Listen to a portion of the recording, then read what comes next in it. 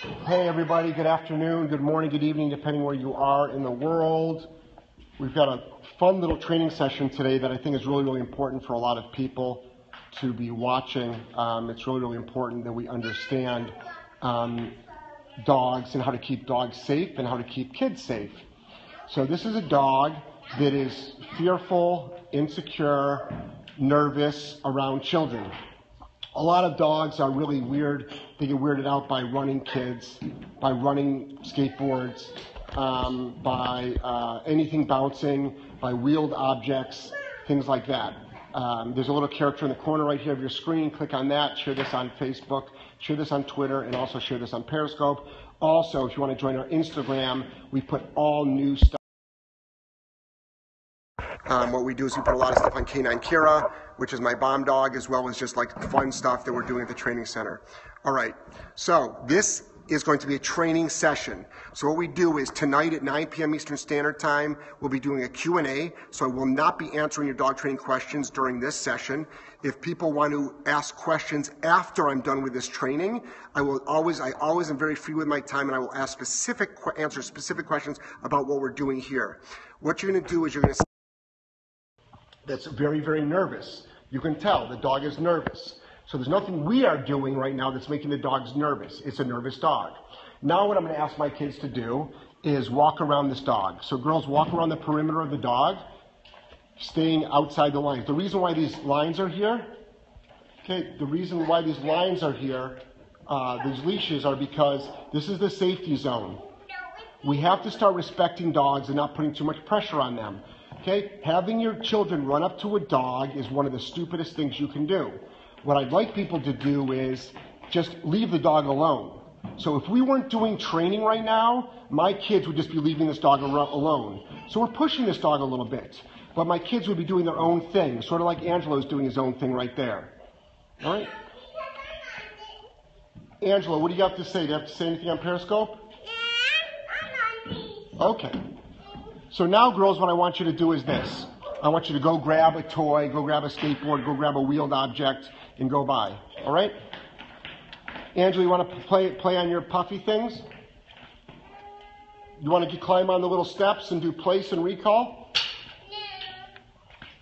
Yes, these are my children. We always use my kids when we're rehabbing dogs with kid issues. I'm a pretty strong believer in John's work. It's John, he's my head trainer. This is Spencer. He's one of my other trainers. This is Linda. She's my wife.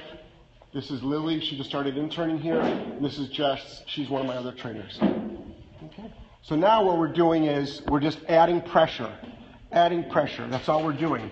So what you're going to see is keep in mind this dog's been here for a week. The dog is, was nervous when it came in. Awesome, Angelo. Great. You know what I want you to do, Ange? You just put these all out around. I want you to get up on all the. Um, well, he's somebody's dog. He belongs to somebody. Elkhart was fantastic. Thank you for asking. Angelo, let's do this. What I'd like you to do, um, Angelo. Okay. Yeah, we get a ton of followers. Actually, our last Q&A got 1,500 followers we had. Any vi- awesome. Any video are possible. You're watching the video right now. Um, so here we go. Oh, if you're talking about Elkhart, there's nothing to videotape. It was an empty. It was an empty kennel. No, there's no video from Elkhart because there's nothing to show. Okay, so I'm just gonna let my kids do things. No, they just don't. It's not about wanting kids. They just want their dog to stop being weird around kids. So you're watching a live training session right now. This is what we do. Notice how my kids are ignoring the dog. The biggest mistake, the biggest mistake that people can do with dogs and children is allowing do- children to run up to dogs. Please stop. Please stop. It's not fair to the child, it's not fair to the dog. Okay, dogs end up killed when that happens. There's something called existence. All children need to do is exist around dogs. That's it. And then teach the dog, like, listen, you don't have to worry about that stuff, but you can tell this dog is concerned. The dog is concerned. So what we're going to do is we're going to teach this dog it's okay to be concerned, but don't lash out at the children.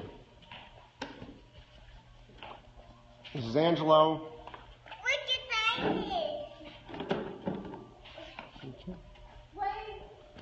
Clover, Romy with her new haircut.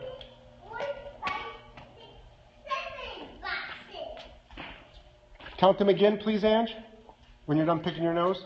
Thank you.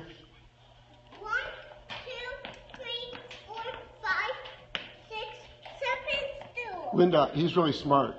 I think we should have him tested. I was supposed to do that. We have all our kids tested. Stay on the outside of the line. Thumb it up. Thanks, Ange.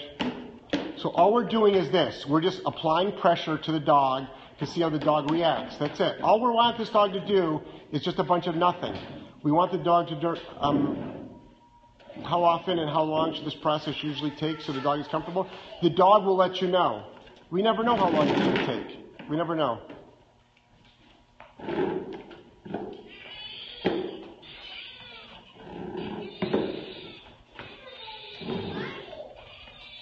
Jeff Gellman of Solid K9 Training, little character on the corner. Click on the little character on the corner.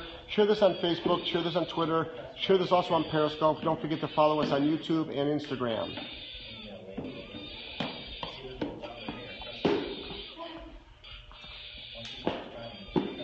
No, the dog has not attempted to get up. The dog has been in place the whole time.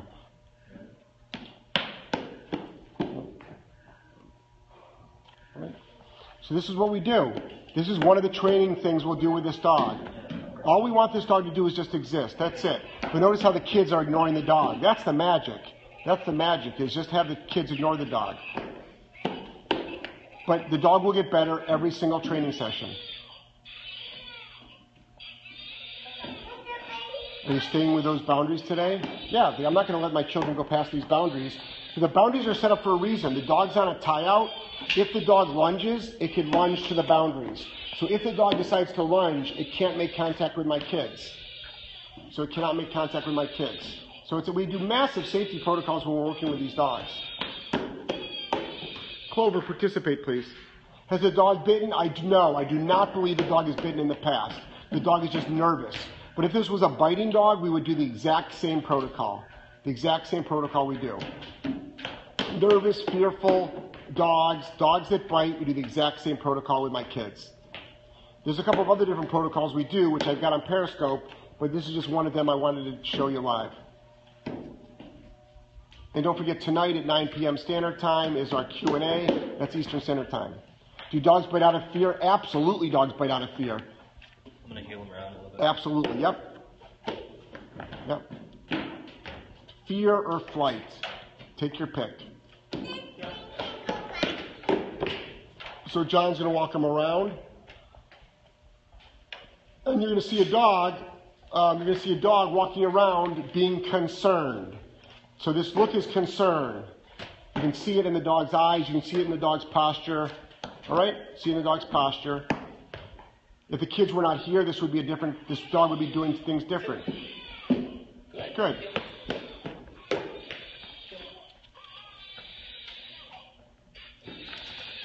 And that's crying baby right there.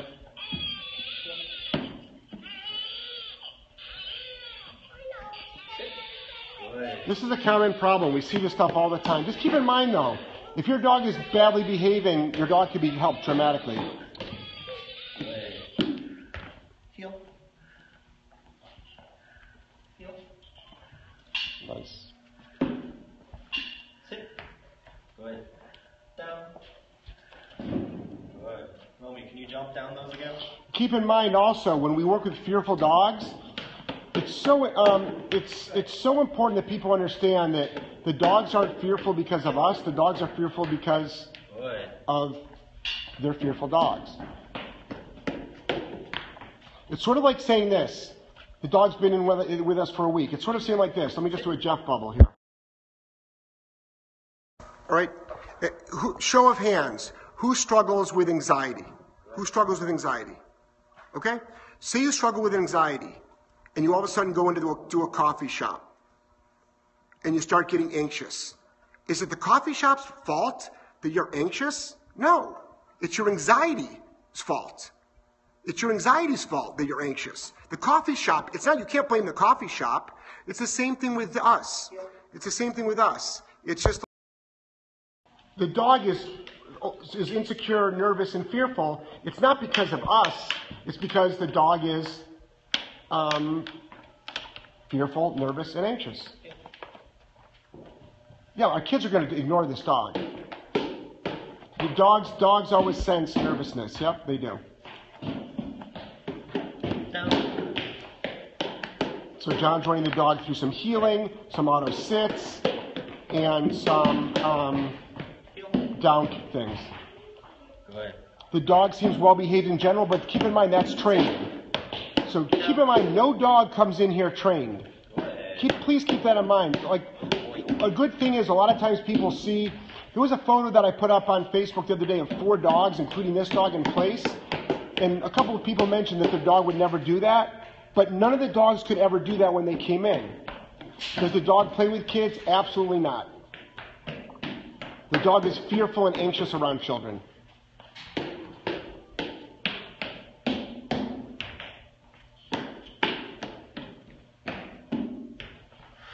No, the goal is not to have this dog play with children. The dog is to have this, the dog, yes, just to tolerate children. Absolutely. People have to have a level of expectation that's reasonable. Now, will it ever play with children? I don't know, but that's not our goal. Our goal is not to have these dogs all of a sudden like go to birthday parties and do party tricks. The goal is, yes, the goal is, is they just have this dog exist around people, around kids.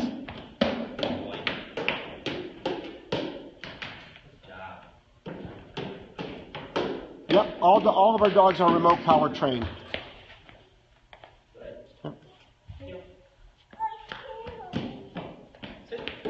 Yep. And let's let's let's dispel another rumor here. Let me just do a Jeff bubble. Okay? Because a lot of people, there's a lot of misinformation about remote collars. Say this dog lunged at my kids. You e-collars for barking? Absolutely. It's the best thing for barking. It'll shut your dog up in 1.3 seconds. Say this dog lunged at my kids and John corrected it with a remote collar. The dog would not think, the dog would not be afraid of children. That's like, that's the biggest lie. You can use treats if you want to. We use, we use the dog's daily food. But remember, using food for training only reinforces what you want. It does not stop what you don't want. Always keep that in mind. Always keep that in mind.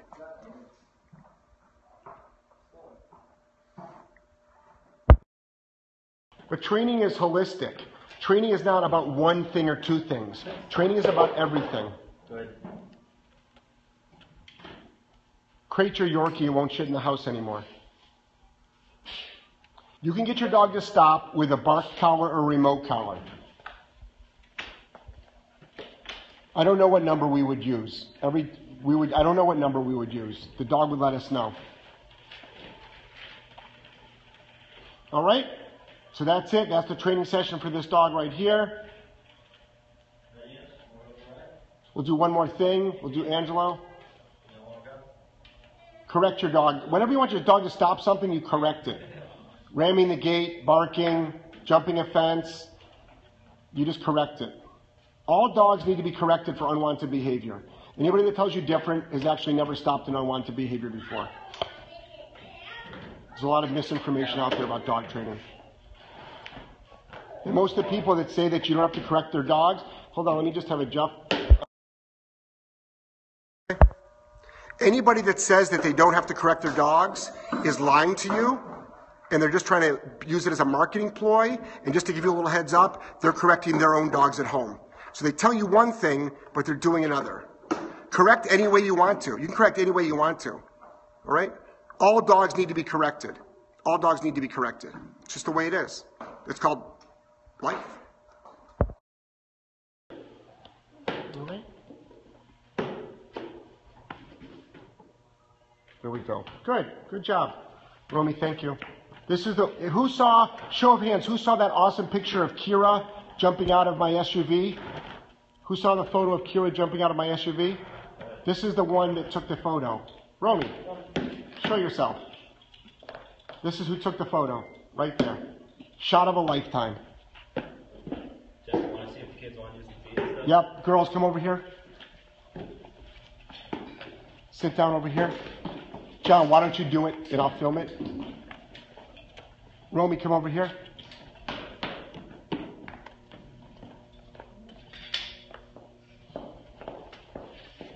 So this is a protocol we do. The dog might be too nervous to do it, so we'll see.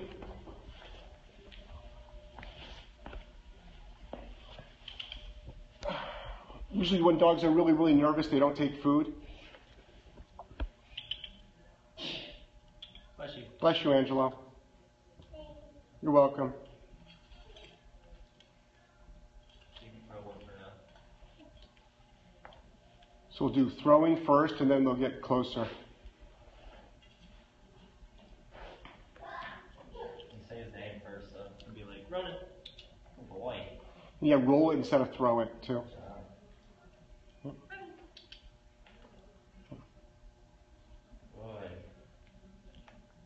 Do I have a phone number? You can call our company, but I don't. I'm not going to talk to you about your dog. You'd have to fill out a form. If you want to do a Skype session, we can do a Skype session, or you can do my Q and A. All right, I can't talk to you. I can't train your dog on the phone unless you do a Skype session. You have to remember there's dozens of people a day that want to do the same thing as you. So I offer Skype. So I offer Skype. It's on the website. Go to service and rates. There's a form to fill out, and I'll talk to you. I talk to people around the world every single day. It sounds cold and uncaring, but there's no way I'd be able to get through my day if I talk to every single person that wants advice. That's why we have Skype, but also that's why I've got 2,500 free videos out there, and then I also do my Q and A.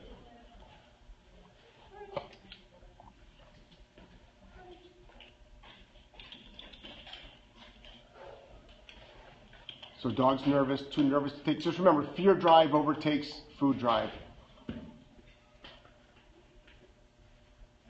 So the kids are just doing a food protocol. Now, what would, this would lead up to is they lead the kids. We've done this before. Is where the kids hold out their hands. They hold out their hands. Um, the website is the name of my company. Yeah, all every one of my social medias is my company name, Solid K9 Training. I make it really easy for people to find me. You go to my website, Solid K9 Training, all my social media is there at the top.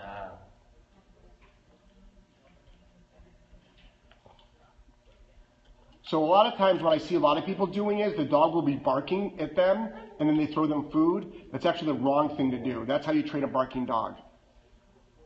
That's how you train a barking dog. So the dog is behaving, the dog is behaving, and bingo. Nice. Score. Good job, Clove. Nice. Good job, Romy. Good job, buddy.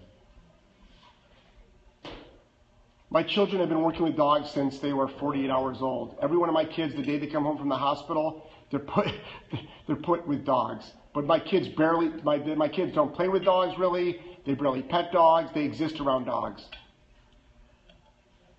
I've got lots of videos of my kids with packs of dogs. his name first. So, say his name. Run it. Good job, Clover.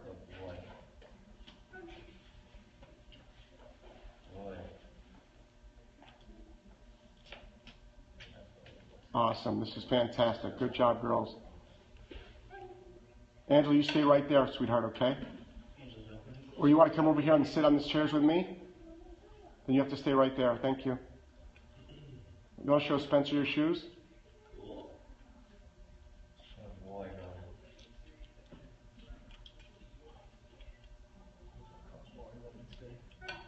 Good job. Excellent job, kids.